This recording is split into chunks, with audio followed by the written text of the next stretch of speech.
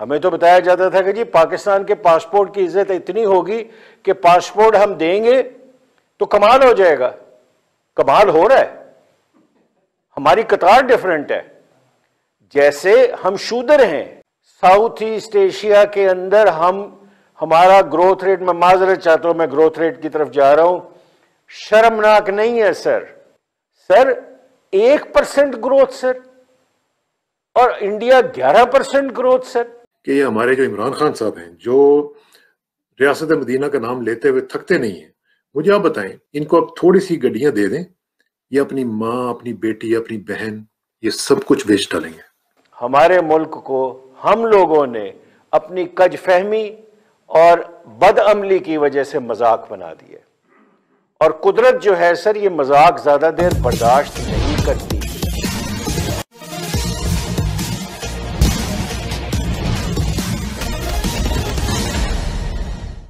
कभी कभी पाकिस्तानी मीडिया भी अपनी देश की नंगी हकीकत और भारत की तारीफ़ की कसीदे कस देता है। लोगों को अब यह लगने लगा है कि मदीने की रियासत का ख्वाब दिखाकर मिलिट्री के साथ गठजोड़ करके सत्ता पर अनधिकृत रूप से काबिज होने वाला इमरान खान अब कितनी बेइज्जती पाकिस्तान का कराएगा? इस पृष्ठभूमि में कुछ और चर्चा इस वीडियो ब्लॉग के अंतिम भाग में करेंगे। उसके पहले आइए सुनते हैं पाकिस्तान के एक जाने माने एंकर रिजवान राज़ी और उनके पैनलिस्ट द्वारा इस संबंध में क्या राय व्यक्त की जा रही है। हम सर किस दुनिया में बात कर रहे हैं? बाखुदा रज़ी साहब, मैं आपको अर्ज़ करूँ, हमारे मुल्क को हम लोगों ने अपनी कज फहमी और बदअमली की वजह से मज़ाक बना दिए और कुदरत जो है सर, ये मज़ाक ज़्यादा देर बर्दाश्त नहीं करती। कौमें इस तरह आगे नहीं निकलती। साउथ ईस्ट एशिया के अंदर हम, हमारा ग्रोथ रेट मैं माजरत चाहता हूँ, मैं ग्रोथ रेट की तरफ़ जा रहा हूँ। शर्मनाक नहीं है, सर। सर, एक परसेंट ग्रोथ सर। और इंडिया ग्यारह परसेंट ग्रोथ सर। हम किस दुनिया में किसको बेवकूफ़ बना रहे हैं, सर? और फिर सेनेट के इलेक्शन के अंदर हम कहते हैं, जी, हम ईमानदारी से सारे मामला हल करेंगे। रज़ी साहब, मैं भी इस दुनिया में रहता हूँ। मुझे बता दीजिए, पाकिस्तान में कौन सा मामला सरकारी जो है, वो पैसे के बगैर हल होता है? मुझे मैं मिसाल तो नहीं दे सकता मुझे अजीब लगेगा क्योंकि नाम मैं लेना नहीं चाहता। खुदारा हमारा मज़ाक ना बनवाएँ। खुदारा मुल्क का मज़ाक ना बनवाएँ। और खुदारा ये हरकतें ना करें कि पाकिस्तानी पासपोर्ट जैसे ही आप हीथरो पे लाए तो उन पर लर्जा तारी हो जाए और वो आपको अलग लाइन में ले जाएँ कि हाँ जी बताएँ कैसे आए हैं? आपका लंदन से क्या ताल्लुक है? आप क्यों तशरीफ़ लाए हैं? हमें तो बताया जाता था कि जी पाकिस्तान के पासपोर्ट की इज़्ज़त इतनी होगी कि पासपोर्ट हम देंगे तो कमाल हो जाएगा। कमाल हो रहा है। हमारी कतार डिफरेंट है। जैसे हम शूदर हैं हम बैन अवी लेवल पे माने या ना माने हमारी कोई इज़्ज़त नहीं है। और जिस तरह की हरकतें हम कर रहे हैं बैन अवी इदारे जिस भट्टी साहब ने बिल्कुल ठीक बात की है। एम्बेसीज एम्बेसडर्स क्या वो आपस में बातें करके हमारी तारीफ़ करते हैं सर? क्या हमारे सिस्टम को वो कहते हैं ये दुनिया का बेहतरीन सिस्टम है सर? क्या पाकिस्तान वाकई तरक्की कर रहे है सर? तो खुदारा आपके तवसत से मैं अर्ज़ करता हूँ कि गोएबल्स को फॉलो ना करें उसने जर्मनी को बर्बाद कर दिया था। और आखिर के अंदर सर बर्बाद कर दिया था सर गोएबल्स ने। और आखिर में सर जो हुआ था से उसने 120 मिलियन जो पाउंड थे उनका लोन लिया था। खैर ये बात हम आगे जाके करते हैं सर। भट्टी साहब के साथ। भट्टी साहब इससे पहले बांग्लादेश बर्मा और भारत के जो कैपिटल थे इस खत्े के अंदर आ, उनके अंदर रौनक लगी हुई थी जलसे और मुजारे मुजारे चल रहे थे। माशाल्लाह, हुकूमत ने कहा कि अल पाकिस्तान जो है पाकिस्तान उसके दारुल हुकूमत में भी रौनक लगा दी जाए तो उन्होंने लगा ली है। लेकिन जरा सीरियस मौजू है। एफ़ को हम बता रहे हैं कि हमने डॉक्यूमेंटेशन कर ली है। इस्लाम भट्टी साहब, हम लिख लिख के बता रहे हैं, रिपोर्टें पेश कर रहे हैं।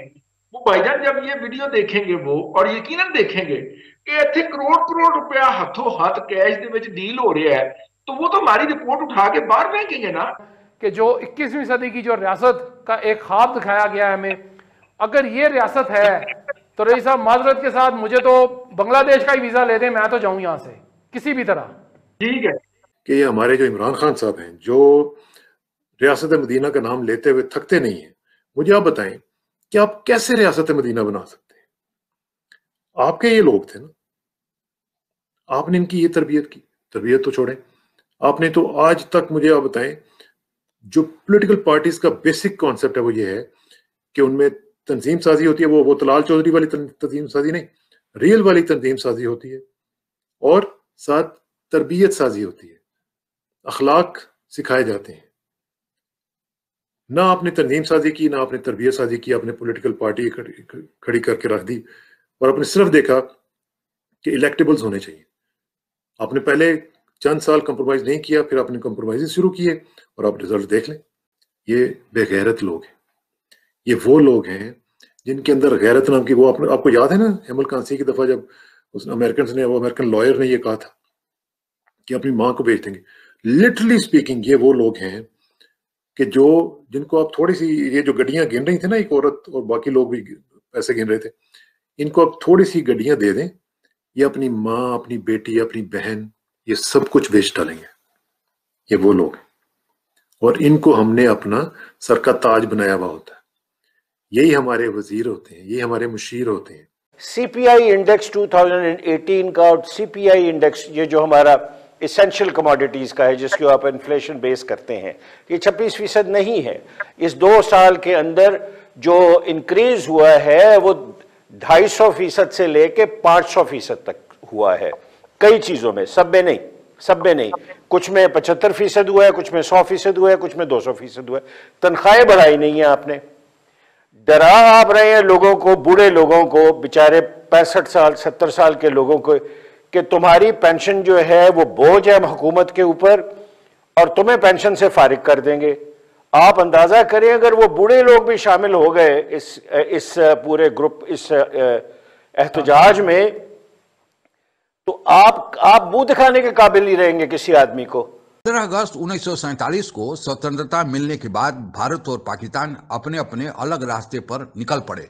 भारत जहाँ एक तरफ़ धर्मनिरपेक्षता का रास्ता चुना, वहीं पाकिस्तान अपने को एक इस्लामिक स्टेट घोषित कर दिया। भारत ने अपने स्वतंत्रता प्राप्ति के दो साल के भीतर ही संविधान बनाकर लोकतंत्र की आधारशिला रखी और जनवरी 26 1950 को यह संविधान लागू भी कर दिया गया। दूसरी तरफ़ पाकिस्तान अपने लिए लोकतंत्र की आधारशिला रखने में 9 साल का समय लगा और 1956 में वहाँ पहली बार संविधान सामने आया, पर इसके कुछ प्रावधानों में इतना मतभेद पैदा हो गया कि इस संविधान को भी लागू होने के पहले ही खारिज कर दिया गया और फिर उसके दो साल बाद उन्नीस में वहाँ सैनिक सत्ता स्थापित कर दी गई।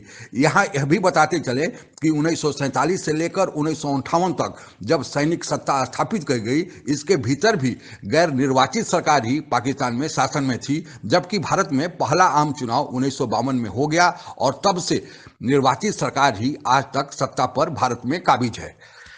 पाकिस्तान में उन्नीस सौ बासठ में दूसरी बार संविधान बना। पर इसको भी लागू करने के पहले ही निरस्त कर दिया गया। उसके बाद तीसरी बार 1973 में नया संविधान बना जो अभी लागू है।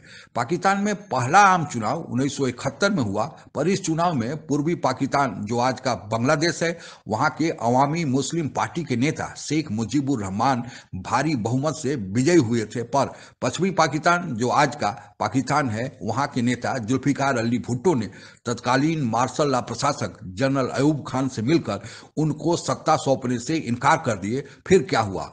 उसके बाद पाकिस्तान का बंटवारा हुआ और बांग्लादेश का जन्म हुआ, जो अब यह इतिहास का हिस्सा है। पाकिस्तान में लोकतंत्र कभी भी पल्लवित, पुष्पित न हो पाया। इसका मुख्य कारण वहाँ की सेना है। सेना अनावश्यक रूप से सत्ता में दखलंदाजी करती है। उन्नीस सौ अट्ठावन से लेकर उन्नीस सौ इकहत्तर तक, फिर 1977 से लेकर 1988 तक और उन्नीस सौ निन्यानवे से लेकर 2008 तक। कुल 31 साल तक पाकिस्तान में मार्शल लॉ यानी सेना का ही शासन सीधे रूप से रहा, जहाँ संविधान का महत्व नामात्र का था, जबकि भारत में सेना का कभी भी सत्ता में या शासन में दखलंदाजी नहीं रहा है। केवल एक बार श्रीमती इंदिरा गांधी ने 1975 से लेकर 77 तक की अवधि में राष्ट्रपति शासन लगाया था।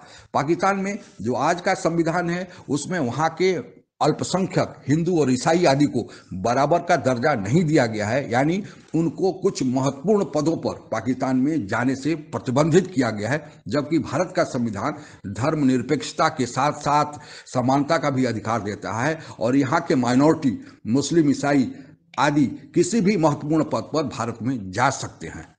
असल में पाकिस्तान में भले ही चुनी हुई सरकार सत्ता में हो, पर पर्दे के पीछे से सेना ही वास्तव में सत्ता का संचालन करती है। इसलिए पाकिस्तान के वर्तमान प्रधानमंत्री इमरान खान नियाजी को इलेक्टेड प्रधानमंत्री न कहकर सिलेक्टेड प्रधानमंत्री कहा जा रहा है। सेना का सत्ता में दखलंदाजी न हो, इसके लिए वहाँ पर एक लंबे समय से जन आंदोलन, पीडीएम के बैनर तले चल रहा है। उसका परिणाम क्या होगा, यह आने वाला वक्त बताएगा, पर हमें अपने लोकतंत्र को अक्षुण रखने के लिए, कामयाब बनाए रखने के लिए आज यह शपथ लेना है कि कल जो लाल किले पर घटना हुई, उसकी पुनरावृत्ति भविष्य में न हो। आज के लिए बस इतना ही।